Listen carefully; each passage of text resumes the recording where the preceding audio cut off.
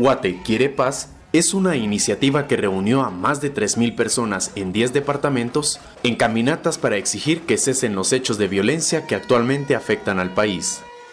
A la actividad se unieron varias organizaciones, colegios y empresas, como la Fábrica de Sonrisas, Yo Asumo, Conjuve, entre otras. El coordinador y organizador del evento, Sergio Hegel, explicó que el movimiento durará tres meses tiempo en el que se trabajará un pliego de peticiones que presentarán a las autoridades para mejorar la seguridad.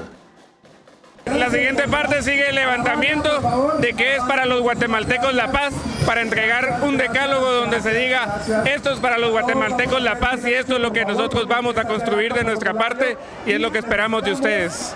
Esto es el primer paso, se empiezan a hacer los cafecitos por la paz, reunidos en todos los departamentos, lo trabajaremos durante tres meses para entregarlo en el mes de enero. La caminata que inició en el Hipódromo del Norte en la zona 2 culminó con el Concierto por la Paz, fiesta en la que participaron varios artistas nacionales.